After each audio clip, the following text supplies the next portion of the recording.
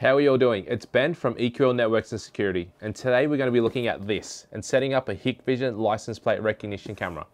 The benefits of using such a camera is that it's a dedicated camera designed to capture license plates.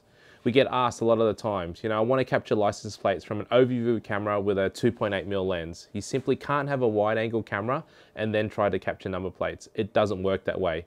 Yes, you might be able to capture that license plates during the day, and if that car was stationary, but at night it will be impossible.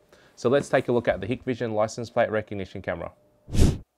So what I'm going to do here is I'm going to show you how to configure this LPR camera uh, and give it the right settings so you can capture day and nighttime number plates. So first thing you're going to do is jump into configuration. Once we're in configuration, uh, we'll actually jump to video and audio. So what we'll do is we'll change our frame rate to say 25 frames per second. You can actually use 15 frames as the bare minimum, but the higher the frame rate, the better. We'll then jump into image, go into display settings, and then you'll see something here called mounting scenario. You want to change that to RAW to give it the optimum results.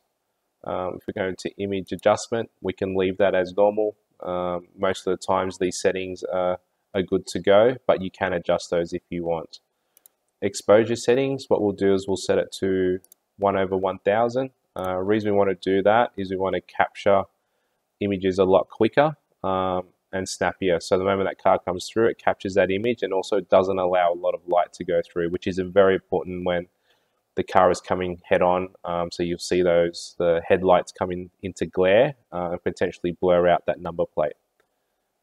Focus, we'll set that to semi-auto day and night. We want to set that to triggered by video uh, from auto. The reason we want to do this is that the camera, when headlights approach, can jump in between color and black and white. Um, by setting it to triggered by video, uh, allows the camera to switch in between that black and white and color mode uh, a lot more quicker um, than it was if it was set to auto. With the smart supplement light, we want to change that to off. What we want to do is we want to have the maximum IR um, out of the camera to hit the number plate and then reflect back so the camera can actually see that number plate and capture it more effectively. Backlight settings we can leave as is, white balance, leave as normal, same as image enhancement. Uh, video adjustment, we could probably set that to outdoor um, just to give you a, a better picture as well. If you're doing indoor, you can set that to indoor, but we'll leave this for outdoor. Um, next thing we'll do is we'll jump into the road traffic tab. So this tab up here, you'll see detection configuration. We need to enable this to say vehicle detection and make sure that box is enabled. In this box here is the actual place where the number plate will be captured. So we can set that area by simply clicking on one of the lines and moving it up and down to the settings. Uh, you can move that left and right and then simply hit save and then it re draws the box as to what's the captured area.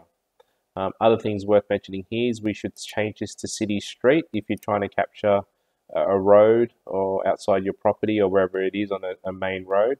Um, this will give you a more accurate results compared to the entrance and exit, which will produce um, still accurate results, but it'll do it a bit more quicker. Um, but for city street, that's the best option there.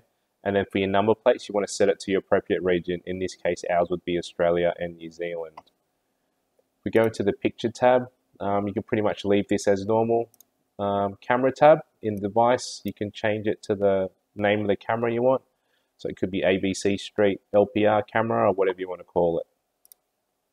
Next tab here, we've got black and white lists. So this is a pretty important, pretty cool feature that allows you to enter number plates um, and allow it, for example, if you had a boom gate, if you have that number plate whitelist, it can open that boom gate. Um, just if it's blacklist, it won't open that number plate, uh, won't open that boom gate. So um, good place here enabled within the camera to allow you to create blacklist and whitelist. And then the final tab here we've got is a real-time LPR results. So this shows you um, the time and date stamp, the actual what it recognized the number plate to be, and the actual captured picture. So you can see there's quite a few number plates it's been capturing as it's been going through. So now we'll show you some images of daytime and nighttime and show you actually what it's capturing.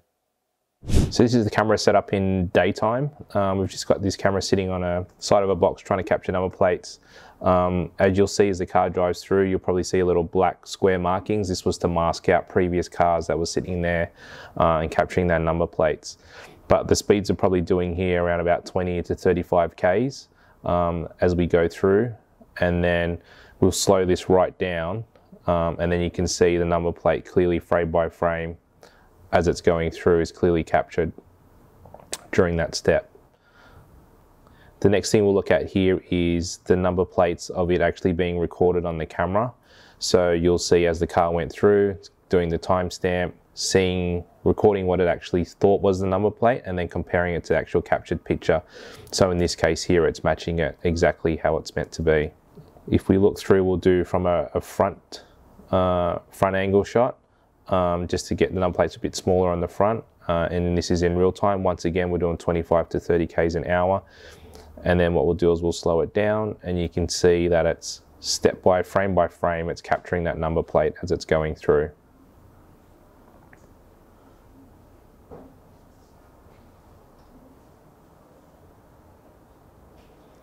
And then this is it from the front end, capturing and recording those number plates. So once again, it's doing timestamp, recognition of the number plate and actual number plate that's recorded. So this is it set up at night. Um, so it's actually pitch black through the previous settings that we set up before.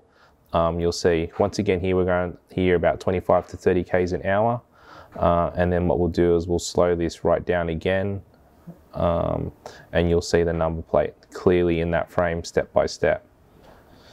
So in this particular case, you don't actually see the color of the car, but you clearly can capture the number plates as it's moving by.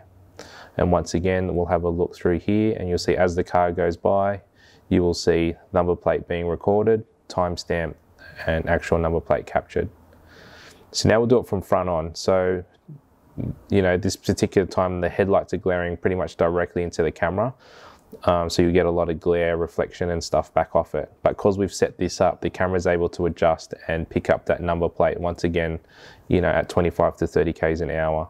And as we slow it down, you can see that number plate headlights glaring to the camera, clearly captured step by step as it goes through. And just to verify that, as the car went through, we'll see um, that it captures the number plate, uh, front on, time stamped, and so forth once again.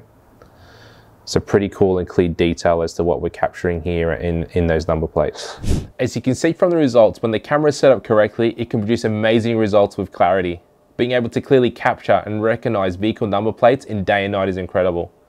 To get best of both worlds, especially at night, combine this camera with a ColorVu camera and capture full color at night to also get the color of the vehicle as well.